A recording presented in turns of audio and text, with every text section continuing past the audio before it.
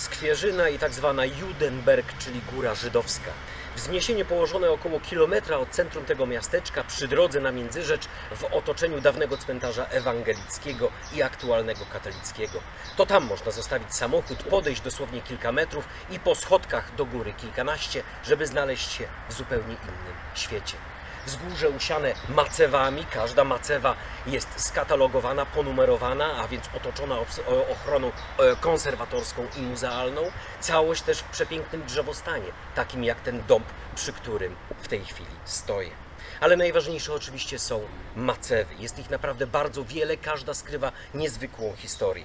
Z jednej strony napisy w języku hebrajskim, dawny język religijny e, Żydów mieszkających tutaj, obecnie oficjalny język Izraela. Ale z drugiej strony macewy bardzo często można zobaczyć napis w języku niemieckim, bo przecież to był język używany na co dzień e, przez mieszkańców żydowskich Skwierzyny i tych okolic.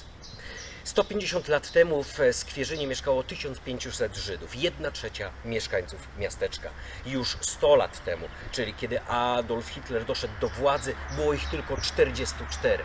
Zapewne nie przeżyli Shoah, czyli zagłady.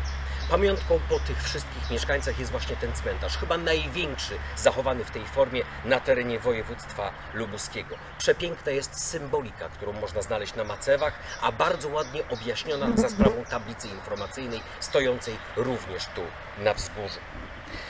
Takich cmentarzy w Polsce i w województwie lubuskim znaleźć nie da się wiele. W Krakowie przy synagodze Remu i stary cmentarz żydowski, w Pradze czeskiej lub oczywiście daleko, daleko w Jerozolimie. Ale warto poszperać też na terenie województwa lubuskiego, bo znaleźć można takich miejsc naprawdę sporo. Może nie tak dużych jak w Skwierzynie, ale równie e, niezwykłych i równie klimatycznych. Są też wystawy poświęcone żydowskim mieszkańcom e, tych e, terenów, jak choćby w pobliskim Muzeum Okręgowym w Międzyrzeczu.